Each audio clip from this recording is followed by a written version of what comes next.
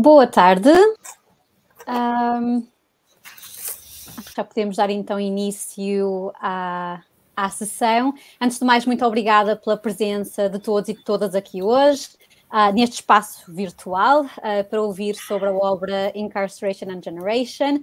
O meu nome é Silvia Gomes uh, e sou uma das editoras da obra, juntamente com as minhas colegas Vera Duarte e Maria João Liotte Carvalho, que estão aqui presentes.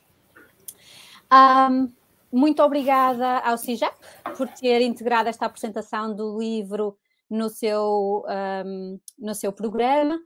Um, o livro foi lançado oficialmente em janeiro, num evento também online, que contou com a presença de Michelle Brown, da Universidade de, um, da University of Tennessee, uh, e de Josie Taylor, uh, da Palgrave. O lançamento foi realizado em inglês e por isso ficamos muito satisfeitas por poder ter este momento de apresentação do livro em português, afinal é essa a nossa língua uh, e temos todo o interesse também em discutir uh, a obra um, em português.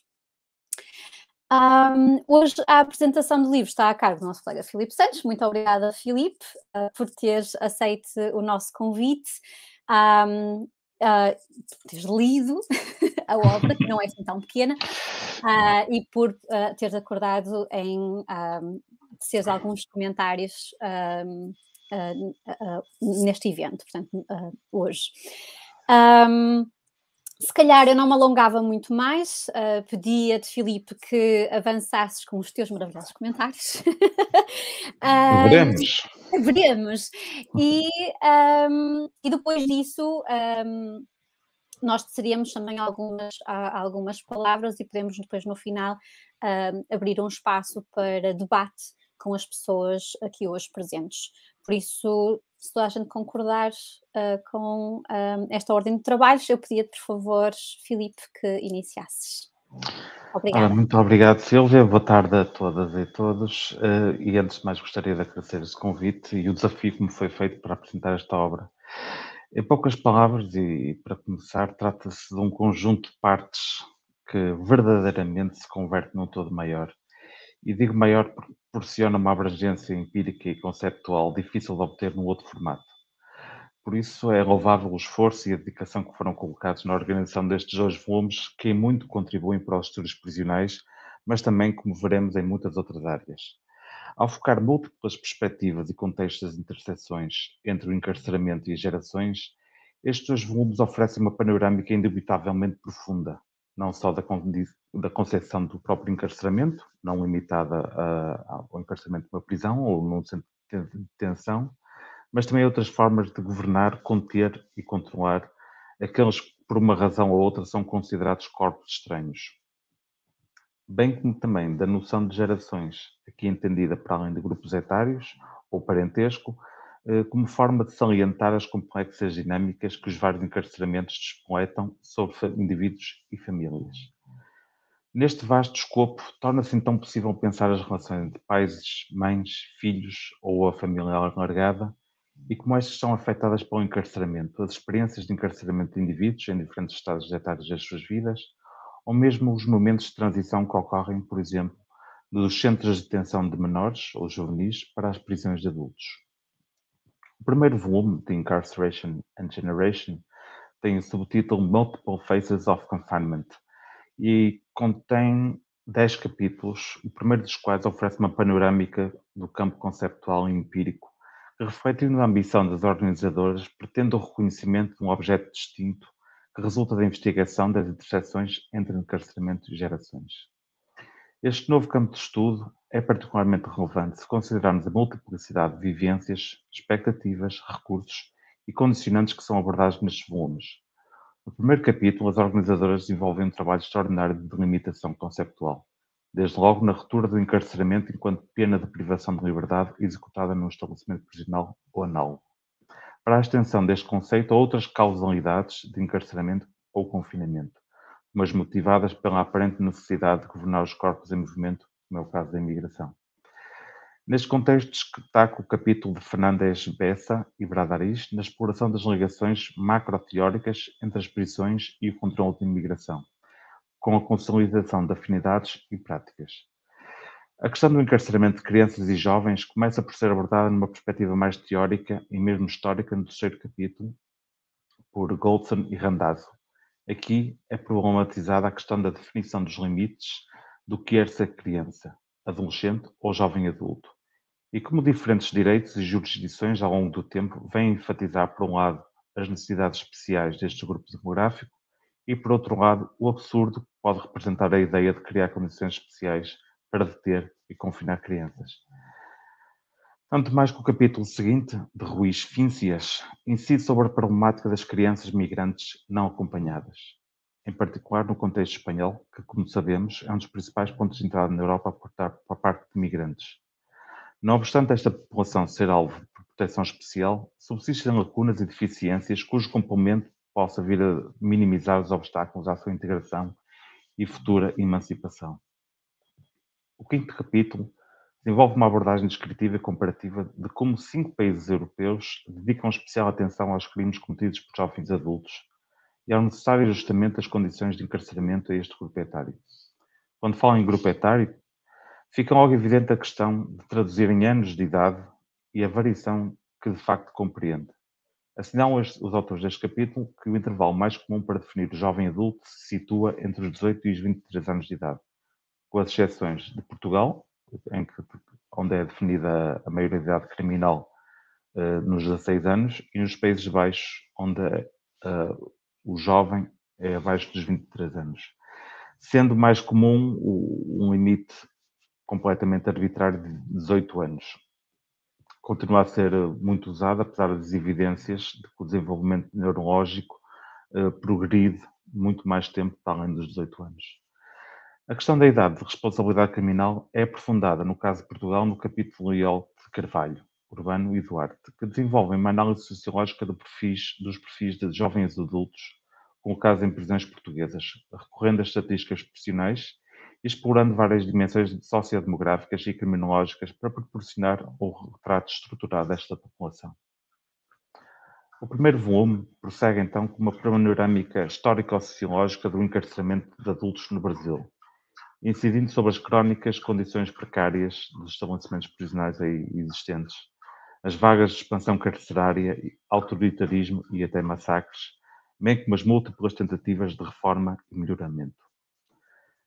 Depois de um interessante capítulo que aborda as intersecções de género e do encarceramento na transição entre a prisão e a sociedade, surge novamente a modalidade da detenção de imigrantes, desta vez no Canadá, onde são analisados os efeitos e consequências da legislação elaborada para mitigar as deficiências existentes, verificando, afinal, a continuidade da racionalidade carcerária em moldes algo mais eficientes e sofisticados. Este primeiro volume é concluído com o capítulo de Claire de Motte, onde são analisadas as consequências do encarceramento de homens de idade mais avançada na jurisdição de Inglaterra e País de Gales. Tal como no caso de jovens e jovens adultos, não há necessariamente um consenso estrito quanto à idade cronológica de um recluso idoso. O autor indica que os 50 anos de idade é tipicamente entendido eh, como a idade avançada para um recluso, na medida em que a experiência de estar encarcerado tem impactos ao nível da saúde física que se encontrariam em indivíduos com 70 anos de idade. Desde logo se compreende então o peso da prisão sobre a saúde física e mental dos indivíduos, alertando para a especificidade desta população e dos fatores que podem contribuir para a degradação da sua qualidade de vida e dignidade dos indivíduos que envelhecem na pressão. O segundo volume, The Incarceration and Generation, tem o subtítulo Challenging Generational Relations. Com licença. Como tal, se o primeiro volume explora diferentes tipos e contextos de encarceramento, o segundo volume é bastante mais focado sobre os desafios às relações intergeracionais do encarceramento. Também o segundo volume é encetado com a exploração teórica e conceptual das gerações. Distingue-as nas várias perspectivas e entendimentos relevantes para a pesquisa sobre populações prisionais, explorando o conceito de life course, ou percurso de vida, passando pelos sentidos e práticas associados à ideia de família.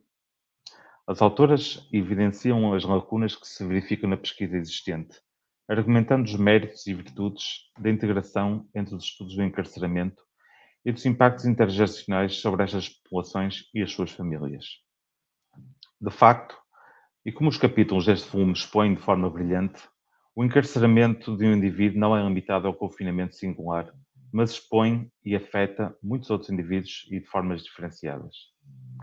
O segundo capítulo sugere então a análise das continuidades e da transmissão intergeracional do encarceramento, argumentando que os mesmos mecanismos que atuam na transmissibilidade da delinquência produzem semelhantes efeitos ao nível do encarceramento, nomeadamente de pais e filhos, sendo destacadas as variáveis que surgem como fatores de risco.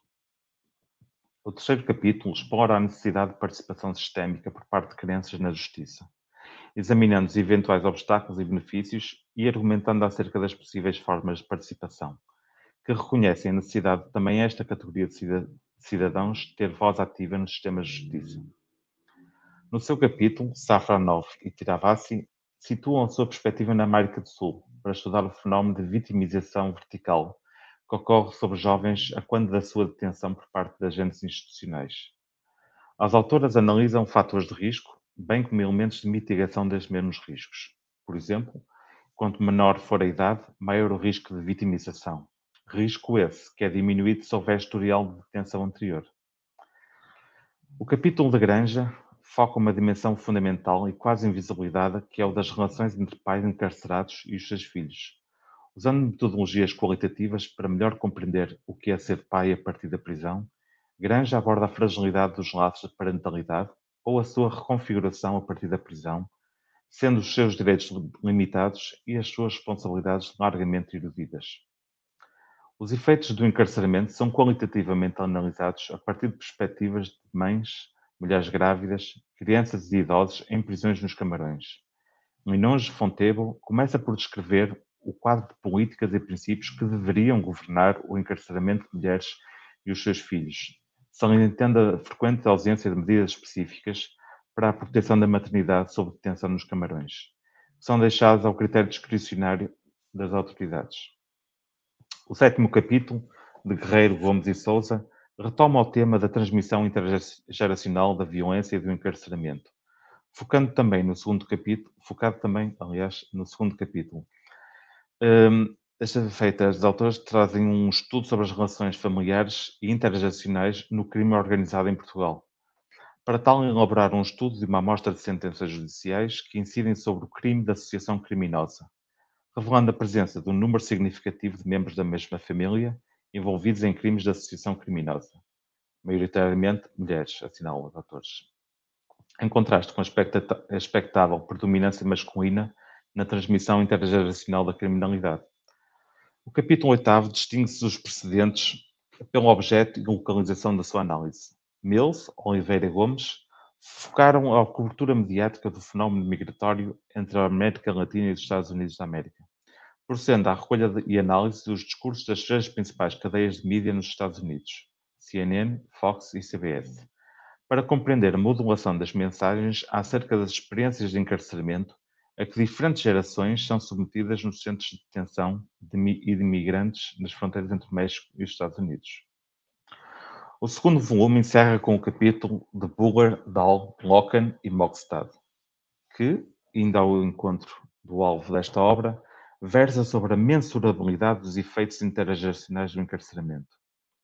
São identificados os principais vetores teóricos da intergeracionalidade, recorrendo a dados de múltiplos estudos de vários países, bem como modelos matemáticos e os inerentes desafios às tentativas de mediação dos efeitos que são sentidos e perduram noutras gerações. Eventualmente, poder-se ainda lançar o desafio de um terceiro volume que pudesse incluir outras dimensões associadas ao encarceramento e às gerações, nomeadamente de teor criminológicas e criminógenas. Por exemplo, no modo como a tipificação criminal afeta a experiência de encarceramento, e, do mesmo modo como a medida da pena ou a possibilidade de manutenção de laços familiares e sociais possibilita ou não o retorno à sociedade e previne o recidivismo. Adicionalmente, por exemplo, penso que ao falar de encarceramento intergeracional ou mesmo uma certa transmissibilidade da aprendizagem social, há que pensar o contexto económico e as escolhas acessíveis. Algo que tenho observado na minha pesquisa mais recente é precisamente o transtorno das expectativas de libertação em função das condições de acolhimento que são frequentemente consideradas insuficientes ou mesmo inexistentes. Em suma, registro que uma das grandes virtudes destes dois volumes é a sua homogénea diversidade. Dos casos de Inglaterra ao Brasil, passando pelo Canadá aos Camarões, esta obra conseguiu harmonizar todos os diferentes contributos na definição de um campo de pesquisa que dá assim um importante passo para se autonomizar. E assim termino, louvando o aprofundado trabalho de referenciação que em cada capítulo, por si só, tem um valor inestimável para estudantes, investigadores e docentes procurem aprofundar um ou outro detalhe, tópico, nesta área de estudos.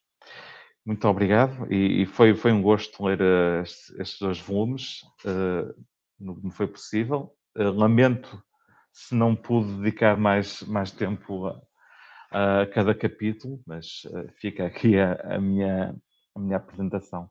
Gostaria de vos ouvir também falar um pouco sobre o livro agora. Obrigada, obrigada, Filipe. Sim, a, a, obra é imensa, porque é muito difícil aprofundar uh, cada um dos capítulos, mas acho que fizeste um excelente trabalho em fazer o overview uh, das, dos dois volumes, uh, e é excelente ver as leituras e as interpretações que faz a partir da obra, não é?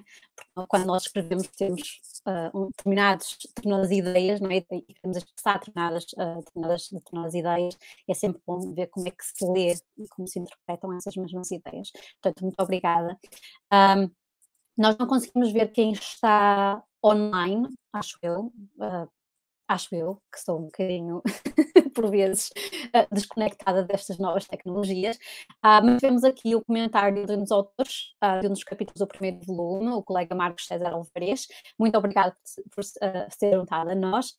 Um, e usem, por favor, o chat para colocarem questões ou até fazerem comentários. temos todo o prazer em debater um, e discutir quaisquer questões que tenham um, no final uh, desta sessão.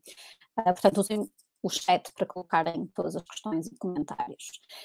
Não querendo ocupar muito mais desta sessão, um, mas sendo também querendo uh, ter esta oportunidade para um, ser palavras sobre, sobre, sobre a obra, um, de, de, seguida uh, irei, irei, falar eu, a Maria, jo, a Maria João de Carvalho e a minha colega Duarte, um, no sentido de cobrir um, como é que a ideia do livro surgiu, um, o que é que uh, quisemos trabalhar com estes dois volumes e também qual é a nossa a principal ambição uh, com a obra e finalmente de ser alguns agradecimentos um, a pessoas que foram indispensáveis para a realização um, destes dois volumes.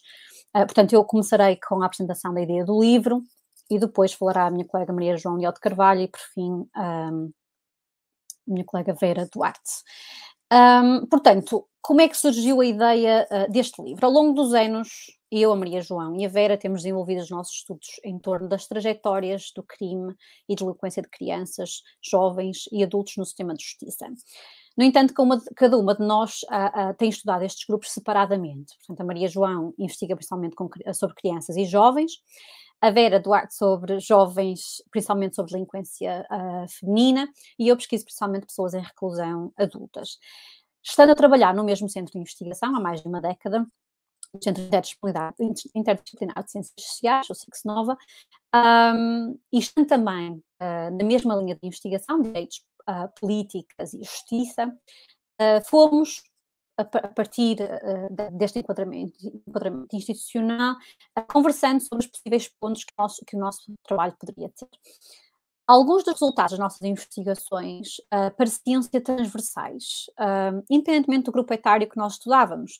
Uh, portanto, havia, havia, aqui questões um, que, que, eram transversais e que nós vimos até a partir desta obra, que independentemente do país que estejamos a estudar, independentemente do, do, do, do, grupo etário que estejamos a, a, a, trabalhar, há aqui realmente questões que são uh, transversais.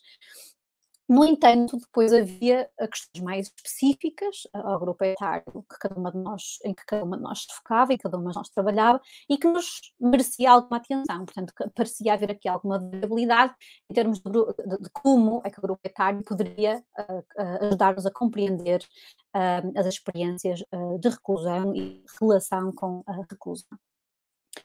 Um, mas como discutir os nossos trabalhos de forma mais integrada? Portanto, essa era, essa era a questão. Como fazer isto de uma forma mais uh, integrada?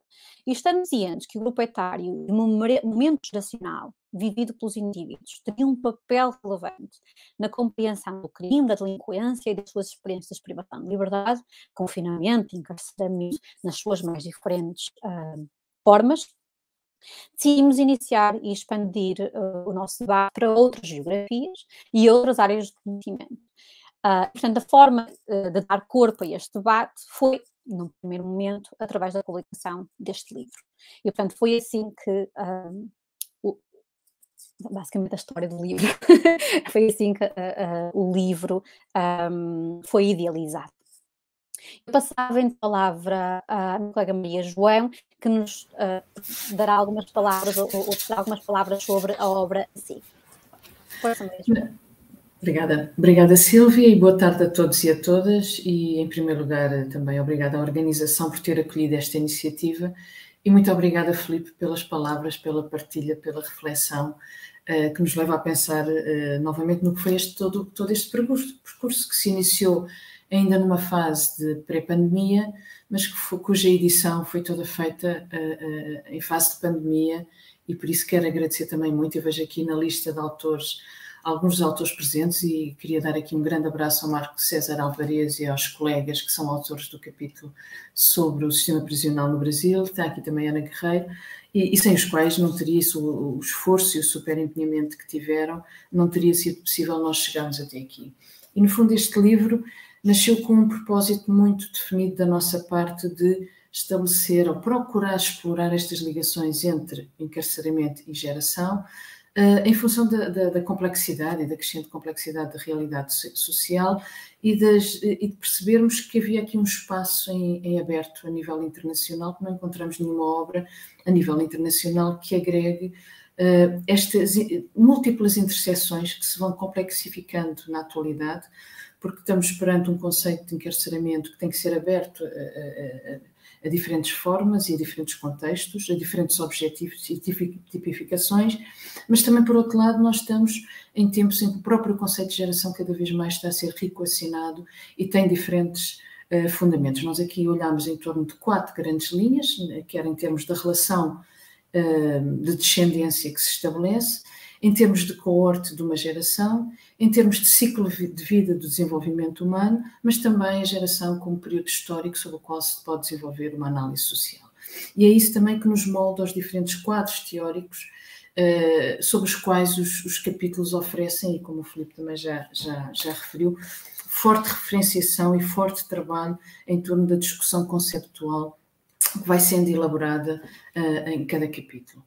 Eh, nós foi graças à proposta que fizemos inicialmente, foi apenas um volume, e foi muito interessante porque foi, uh, agradecemos a Josie Taylor e aos editores desta série da Palgrave Macmillan, que nos lançaram o repto de, em vez de um volume, uh, construirmos dois volumes, o que nos levou realmente a uma reformulação da obra, com a qual estamos uh, bastante satisfeitas, mas tal como aconteceu, e é muito curioso, e o Felipe não, não assistiu, não, não sei se esteve presente na, na primeiro lançamento do livro a nível internacional, também já a, a, proposta de um terceiro volume também foi então aí lançada pela Michelle Brown, o que nos deixa a pensar, e nós sentimos que realmente podemos estar aqui perante a concretização ou a abertura de que pode ser uma nova linha de pesquisa no, no, no campo dos estudos prisionais, cruzando estas múltiplas formas de entendimento das gerações com as múltiplas formas uh, do que é o encarceramento e os, os, contextos, e estamos num momento particularmente sensível uh, a estas situações,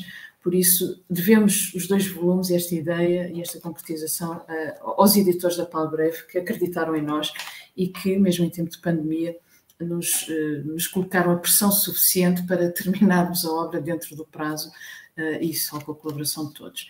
Como o Filipe já referiu, eu não vou aqui salientar muito, mas a nossa ideia da construção do primeiro volume foi que a sua leitura permitisse uh, quase seguir o desenvolvimento do, da vida humana em torno de várias etapas do ciclo da vida. Por isso, é assim, nós temos aqui a partir de um conceito base de geração, de geração uh, entendida enquanto etapa de vida, desde a infância, desde as crianças, os jovens, uh, a, a, nova questão geracional que se torna uh, que é discutida e é debatida em torno dos jovens adultos, as transições juvenis, como é que isto acontece, os adultos e os mais velhos. No fundo, o, o primeiro o volume foi todo organizado, dando essa sequência e permitindo ao leitor que, a partir da base teórica que está descrita das, e de toda a discussão teórica que cruza as ciências sociais, o direito, mas também as neurociências, assim, nós não temos um único marco teórico, nós eh, apresentamos e discutimos diferentes frentes que depois são corporizadas e materializadas eh, eh, com diferentes autores, e é essa a discussão mais rica do livro, é que esta leitura do primeiro volume se faça a, acompanhando a evolução no fundo, da espécie humana ao longo da sua vida. Por isso, nós apresentamos e destacamos essas diferenças e essas singularidades.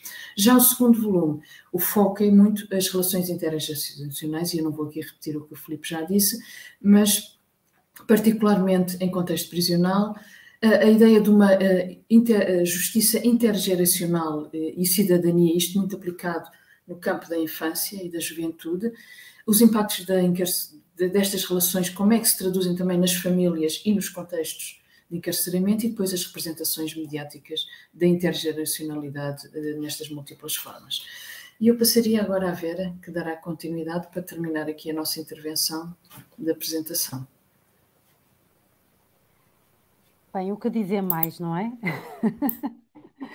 uh, na verdade, a nossa, a nossa principal ambição uh, é que, com, com, com o tempo, esta obra incentive realmente investigadores e investigadoras um, a refletir sobre a relevância de considerar o estudo, o encarceramento e das gerações como um campo distinto de estudos, não é? como a Maria João já tão bem focou também na, na sua intervenção, agregando de alguma forma todo o trabalho significativo que já está a ser desenvolvido por académicos em diferentes áreas disciplinares.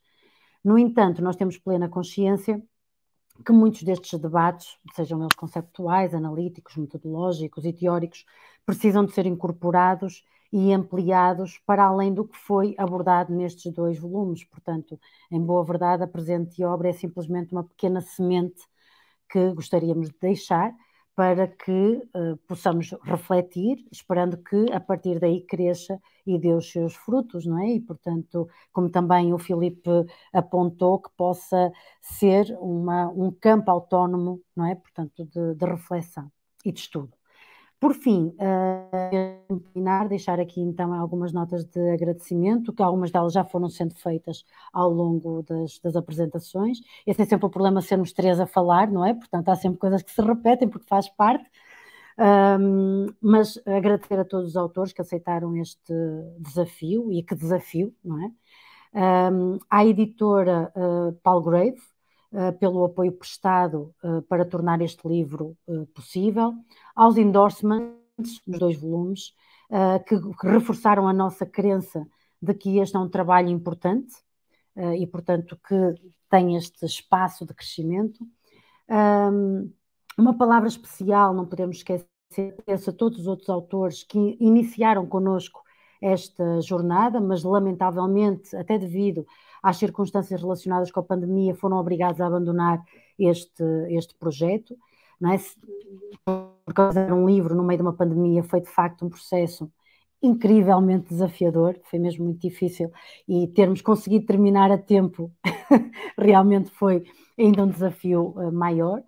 Um, ao Filipe, mais uma vez, pela leitura da obra uh, ou das obras e uh, depois da, da, tua apresentação fiquei com vontade de ler a obra, não é? Portanto, uma forma de dizer, claro que eu já li a obra, não me interpretem mal, mas fiquei com vontade, com vontade de aprofundar ainda mais, não é? Portanto, os próprios capítulos. Uh, e, claro, um agradecimento especial, e este tem sempre que ser às minhas colegas e amigas, é? Silvia Gomes e Maria João Leó de Carvalho, por mais esta aventura, dentro de tantas outras que já temos tido, com tantos altos, com tantos baixos, é? mais de uma década a trabalhar juntas, e a verdade é que vamos sempre mostrando que vamos trabalhando em equipa, é? E espero continuarmos, que este seja uh, só mais uma aventura dentro de muitas que ainda uh, teremos pela frente. Obrigada. obrigada pelas, pelas, pelas vossas intervenções, obrigada, obviamente, pelo agradecimento. Tu sabes que é recíproco, não é? Nós adoramos trabalhar juntas. Um, espero... Confirmado, confirmado. e esperamos que seja realmente apenas uma das aventuras uh, que, que, nos espera uh, na nossa trajetória. Um, eu deixaria agora uh, espaço, daria agora espaço, algum, algum, algum, espaço para debate. Nós temos aqui alguns minutos até uh, ao final da sessão, uh, por isso convidava os presentes, mais uma vez eu não consigo ver quem são e, e certeza que é culpa minha, mas convidava os presentes para um, serem comentários, questões na, no, no chat que nós teremos todo o gosto em debater ou responder.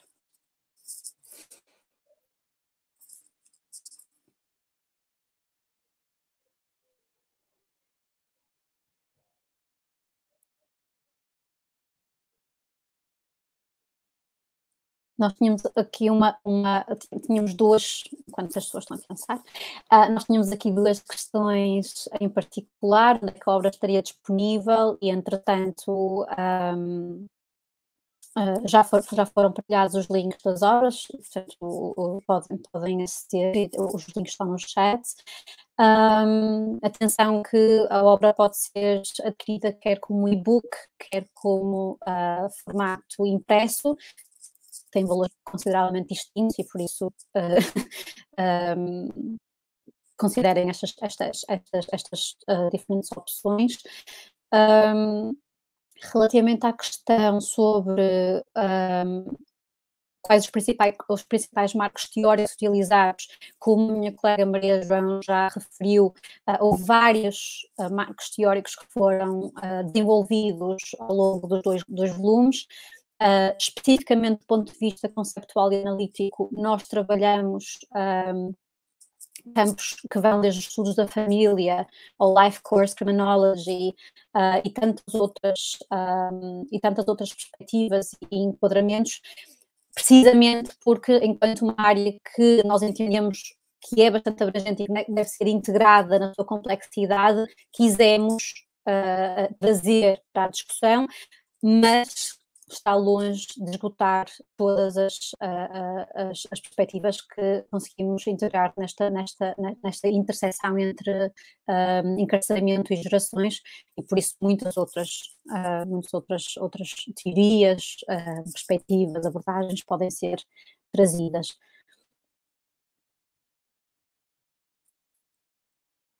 Marcos, nós agradecemos estar, estar aqui presente hoje.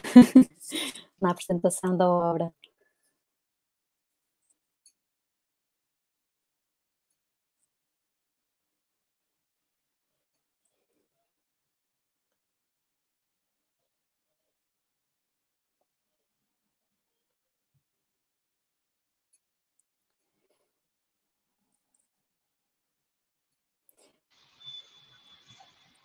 Ok, sim. Uh, Maria, Uh, obrigada pela questão. Portanto, nós temos capítulos que, focam, que se focam em Portugal, temos capítulos que se focam em, uh, no, temos um capítulo sobre o Brasil, temos muitos outros capítulos sobre Inglaterra, sobre vários países, perspectiva comparada, temos um artigo sobre uma perspectiva comparada com vários países europeus, portanto, diferentes capítulos vão cobrindo diferentes países, portanto, não é apenas uh, só sobre Portugal ou só sobre o Brasil, portanto, dependendo dos capítulos que, que, uh, que, são, que são apresentados no, volume 1 ou volume 2, temos várias realidades geográficas a serem trabalhadas nesta interseção entre encarceramento e gerações. Sim, e já agora só acrescentando, Silvia, que nós temos capítulos alguns focados, como quase estudos de caso, numa determinada realidade, mas depois temos alguns capítulos, nomeadamente os da infância e da, da juventude, eh, muito eh, em que abrangem, por exemplo, que é dedicado às questões com as crianças, abrange uma perspectiva com dados a nível internacional, das instâncias internacionais das Nações Unidas e, e, e outras, uh, a nível europeu dos jovens adultos, os casos da América Latina envolvendo diferentes países também nas questões de, do contexto prisional e dos jovens adultos, oito países, por isso nós temos aqui duas linhas e alternamos alguns capítulos, assim como as questões de, ligadas a, a à, detenção e ao encarceramento nos fluxos migratórios, também se focam em experiências continente americano, continente europeu, cruzando diferentes realidades. A nossa preocupação foi precisamente uh, tentar ampliar uh, as diferentes perspectivas e temos autores uh, praticamente todos os continentes, com exceção da Austrália, da Oceania, porque de resto temos de, todos os continentes, basicamente. É, são diferentes perspectivas, diferentes áreas científicas, eh, uma diversidade em que depois procuramos dar a melhor coerência possível. Sim, porque hum, apesar do livro hum, ter uma lógica como um todo, uh, a verdade é que cada capítulo vale por si só, não é? Portanto, um, e essa também acho que parece-me ser uma mais-valia desta, é? portanto, nesta promoção que estamos a fazer da obra, não é? Parece-me ser realmente uma mais-valia de qualquer um destes volumes, uh, é que eles estão interligados, todo, todos os, os, uh, os volumes têm uma, uma, um capítulo introdutório que faz precisamente o diálogo entre os diferentes capítulos, mas uh, imaginando que alguém que está a estudar só sobre a questão, por exemplo, dos jovens, pode pegar só nestes capítulos sem perder o, o portanto, a dimensão global da, da obra. Se posso falar também. E é que foi precisamente essa, essa sensação que, que tive. Além de ser, ok, são dois volumes, um com nove e outro com dez capítulos. Vocês fizeram um trabalho fantástico de conseguir juntar, e, e aquilo que é mais difícil num, numa obra desta dimensão é conseguir com que haja fio condutor ao longo dos capítulos. Não só entre os capítulos, mas também dar alguma distinção entre os dois volumes é? de haver um, um capítulo mais sobre, sobre diferentes tipos de encarceramento e outro mais sobre as gerações. Achei fantástico. E, e é precisamente isso que, que a Maria João dizia. Dá para pegar em qualquer um dos capítulos e ter não só um quadro teórico muito bem fundamentado, muito bem referenciado, e, e nesse capítulo imagino que, que as editoras tenham, tenham uh, incentivado os autores a, a, aprofundar muita referenciação recente. Outra coisa também muito importante, encontram muitas obras de 2019, 2020, 2021, se calhar já não, mas, mas é uma das grandes virtudes do livro. É precisamente qualquer pessoa que queira pegar num só capítulo, pode ler tudo, mas se pegar só num capítulo, vai, vai certamente beneficiar do, do trabalho que lá está. E fica mesmo a faltar um terceiro, um terceiro volume nós aceitamos o desafio, esperemos que a Paula Greve também. Não, não, é que, é que depois, depois eu ficava, ok, mas falta aqui, e ficava sempre à espera de encontrar, ok, se calhar no próximo capítulo aparece. E, e faltaram, se calhar, isto apenas como, como sugestão, uhum.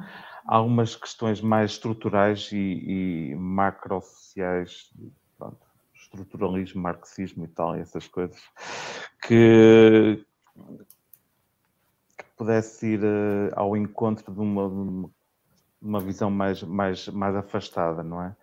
Um, quando digo mais afastada, mais pré-detenção, pré-encarceramento, é? das condições que levam a isso. E há, há uns capítulos que vão dando algum, alguns toques nesse sentido. E depois a minha própria investigação atual, que também falta outro, outro, in, outro tipo de encarceramento, que são os inimputáveis. Não é? Que, que esses aí Sim. não têm grande possibilidade de transmissão intergeracional, mas também têm outros, eles próprios também têm outros, outras problemáticas que levam ao seu encarceramento. E pronto, realmente precisamos de um terceiro volume. Obrigada, Felipe. Tem de ser em três, tem de ser em três. Vá lá. Não, não, é assim, aquilo, aquilo que, que, o Felipe, que Felipe disseste realmente é assim, nós partimos numa mera exploração de perceber que retratos é que estão a acontecer e fomos nos confrontando com questões que algumas estão enunciadas, aliás, a, a conclusão, sobretudo, do, do, do, primeiro capítulo, da nossa introdução no segundo volume, abre portas para algumas das questões que nós achamos prementes uh, ser, por exemplo, uh, nós não exploramos também aqui a questão da privação de liberdade, encarceramento em termos de pandemia.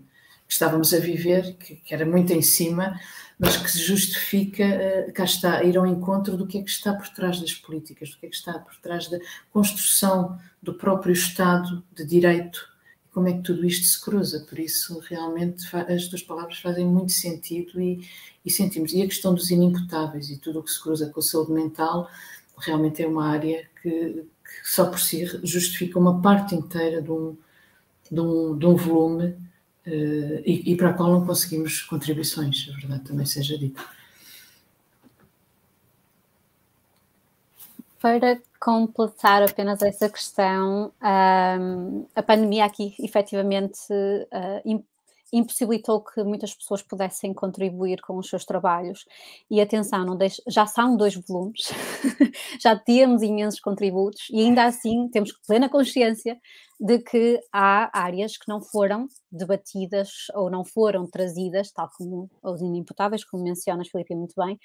Um, que não foram trazidas para a discussão. Portanto, nós temos, e isto é apenas um primeiro exercício uh, que nós pretendemos uh, que efetivamente uh, dê origem a muito mais, não é? Nós não, não, quisemos, nem tivemos como pretensão ser exaustivas e trazer exatamente tudo, todos, todos os debates e tudo que existia sobre. Um, sobre, sobre, sobre ah, as possíveis interseções entre encarceramento e, e, e, gerações. Por exemplo, nós, nós inicialmente iríamos ter um capítulo do nosso colega Fábio Malarte uh, do Brasil, que, tra trabalha, que trabalha as questões da intrageracionalidade, que foi algo que nós não conseguimos debater uh, no segundo volume e nós queríamos muito tê-lo feito, porque efetivamente a pandemia afetou. Afetou as vidas não é, de, dos investigadores e, e, e muitas e, e, quando nós dizemos que houve realmente investigadores que ficaram investigadoras que ficaram pelo caminho e que não puderam contribuir com os seus trabalhos efetivamente tivemos vários casos em que isso aconteceu. Um, e temos plena consciência que nem tudo foi uh, trabalhado. Um, sobre as questões que entretanto um, nos foram colocadas uh, no, no, no, chat. Uh, a Catarina pergunta se faz sentido continuar a falar de prisão como solução. Um, atenção que o debate aqui que nós fazemos não é só sobre prisões, nós, nós trabalhamos a questão do encarceramento uh, de uma forma mais abrangente um, e discutimos precisamente também, há capítulos que, que discutem o impacto que o encarceramento tem em, em diferentes gerações. Um, por exemplo, no, no, segundo volume, temos claramente como é que o encarceramento de pais e de mães afeta também um, os filhos, não é? Um, sobre se a prisão é solução, acaba por ser um pouco. Ah, não vou dizer pessoal, mas tem a ver com a forma como cada investigador e investigadora olham para, olham para uh, as suas investigações. Eu própria tenho o meu, o meu, posicionamento, mas as minhas colegas também têm o seu próprio posicionamento e, portanto, eu não vou falar pelo coletivo, porque uh, nós não temos necessariamente o mesmo posicionamento.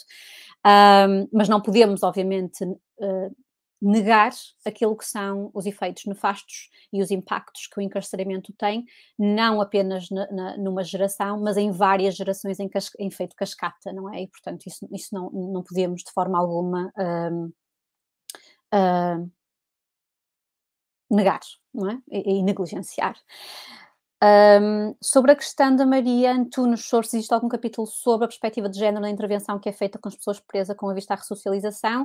Uh, um dos capítulos uh, do primeiro volume, um, que foi escrito por mim e pela Dixie Roxer, é precisamente sobre uh, género, encarceramento e reentrada e discute as diferenças entre um, homens e mulheres encarcerados, e como é que eles navegam, digamos assim, uh, ou, ou, perspectivam a sua reinserção uh, após a saída da prisão e como é que a, a, o encarceramento acaba por afetar ou não esta reinserção.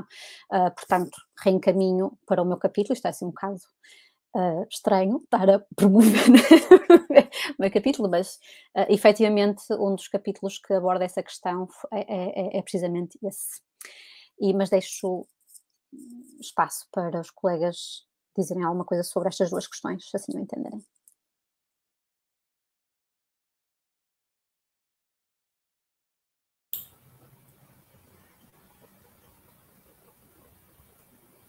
Não, não, quer dizer, eu acho que já, já ficou claro e realmente A, a pergunta da, da, Catarina para mim está incompleta, porque é solução para quem? E, e vai encontrar respostas algumas dentro uh, de alguns capítulos, isso e, e, em termos da, da própria discussão. Dizer, é, essa discussão existe, por exemplo, há um capítulo que diz claramente em relação às crianças qual a posição, uh, mas temos que colocar essa pergunta em função dos diferentes olhares que se podem cruzar ou que se podem completamente distanciar e de diferentes momentos, dos diferentes contextos, e não podemos ter uma, uma, uma, pergunta assim tão generalizada, uh, pelo menos em termos de, daquilo que depois é produzido no, no, nos vários capítulos. A questão do género está presente de diferentes maneiras em diferentes capítulos, não propriamente na questão só da intervenção, mas dos retratos ou das caracterizações que são feitas e em termos de como é que o género se pode expressar as, as, diferentes dimensões do género se expressam ao longo de todo este percurso e destas interseções entre as diferentes formas de encarceramento, as relações geracionais e as próprias gerações.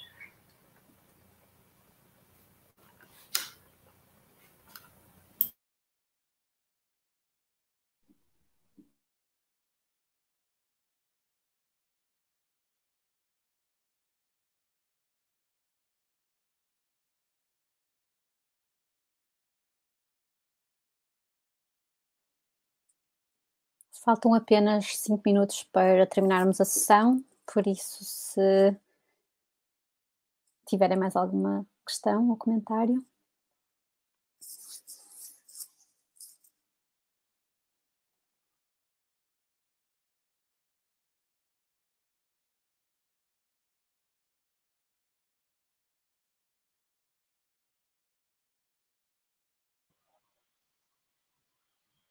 Apenas diria que foi, foi-me difícil escrever confinamento.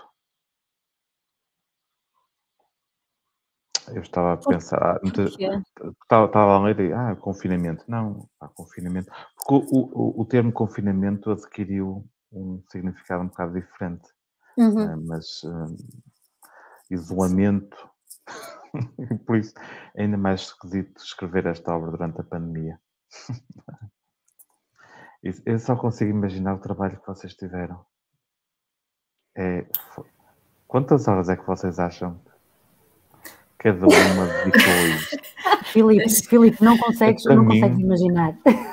Não, é, pois, é... eu estou aqui a tentar pensar num número e, e para um livro, um livro, demora tanto. Agora, vários capítulos. Filipe, e vou-te dizer que nesse processo, nesse, nesse período, mudei duas vezes de, de país. Pois, só para facilitar as coisas, não é? Não, durante não, a é pandemia. Durante a pandemia. Sim, e, e, assim, nós tivemos a aprovação em dezembro uhum. e entregámos a 15 de junho as duas obras, com todos os autores eh, por isso, quer dizer, o trabalho, nós fomos editores, mas nós temos também uma dinâmica já muito particular de trabalho, verdadeiramente. Agora, eu acho que aqui a grande palavra é todos os autores que, com uh, os textos, a apresentação dos textos, depois a fase da revisão de pares, depois a devolução, foram extraordinários, mesmo afetados pela pandemia. Uh, aqueles que entraram a bordo já com o processo a decorrer Uh, e com todo o apoio da Palgrave, que de facto é, foi uma equipa extraordinária que nos deu um apoio, mas, mas agora olhando para trás, uh, quer dizer, foi um desafio completamente. Uh, a produção das introduções é algo que não esqueceremos eh, tão cedo. Não. De... Mas deixem-me que vos diga que valeu mesmo, mesmo muito a pena. As introduções valem mesmo, porque às vezes uma introdução faz um, só assim uma abordagem superficial, quase de apresentar, mas vocês foram um bocado mais além do que isso. Vocês têm noção disso? Foram Temos. bem mais além. Temos. Eu, eu fogo. Saiu-nos saiu do corpo, nós sabíamos. mas, mas depois ainda conseguiram outra coisa, que foi escrever bem. Que dá gosto de ler. É, é diferente. Obrigada, é? Obrigada, o conteúdo obrigada, pode ser obrigada. bom, mas quando, quando se lê eh, com, com leveza, com, com gosto, é diferente. Por isso agradeço-vos, eu que vos agradeço. Obrigada. Obrigada, Filipe. Obrigado. Muito obrigada. Bem, se calhar. Se, é, acho que vamos ficar por aqui, uma vez que não existem mais uh, questões ou comentários um, no chat. Muito obrigada mais uma vez a toda a gente que esteve aqui presente hoje. Muito obrigada, Filipe. Um, e obrigada, obrigada, obrigada, obrigada. Acho que tudo aquilo que nós queremos dizer. E espero que possamos usar esta obra agora para, uh, como ponte para muitos trabalhos futuros. Obrigada. Muito obrigada. Ah, Muito obrigada. Tchau. Thank you.